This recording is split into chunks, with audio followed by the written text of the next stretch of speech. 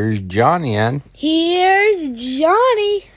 today Walmart actually uh, leaked three new Star Wars Lego sets. The first one is Darth Vader bust, set number 75304.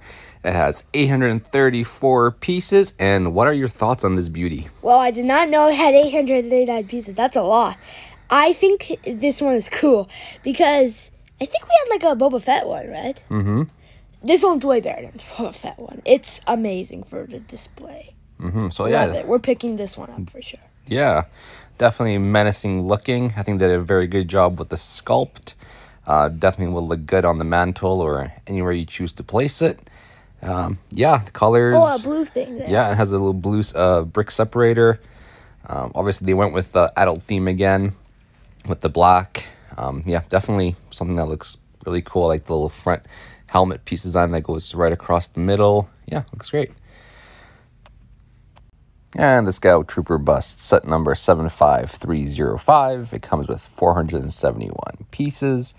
Uh, obviously, Scout iconic from the Return of the Jedi, from the Forest Moon of Endor. I mean, I think the Scout Trooper helmet bust, they did a very good job on it. Uh, definitely looks like the one in the movie.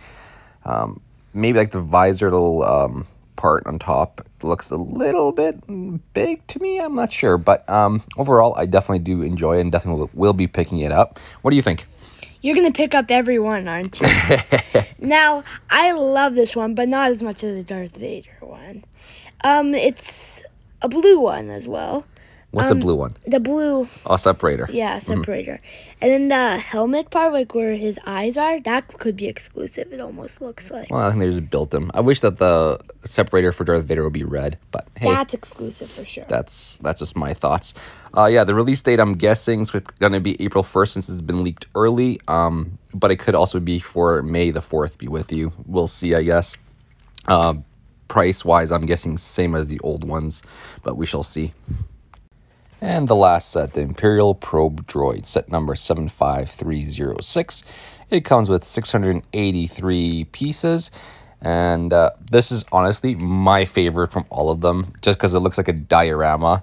Uh, it's obviously it's not a bust, but I think just overall, I think for display it will look pretty cool. I'm very excited about this one. I, I don't even know why. Obviously, Darth Vader is one of my favorite characters, but this is like a minor little character that we see only for a few seconds, and um, Episode five. yeah, episode five, and honestly, I I really like the way they did it. What do you think?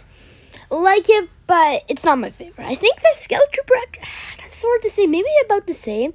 But you know what else I think is? Oh, it's orange this time. Orange separator. What I think is funny though is that it's coming out April first. Are they gonna tr- troll us?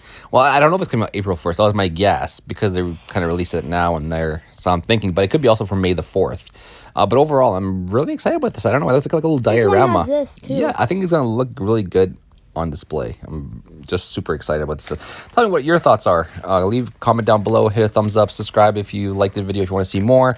And yeah, hopefully we get more s- more Star Wars info and more Star Wars leaks. Yay! Bye. Bye.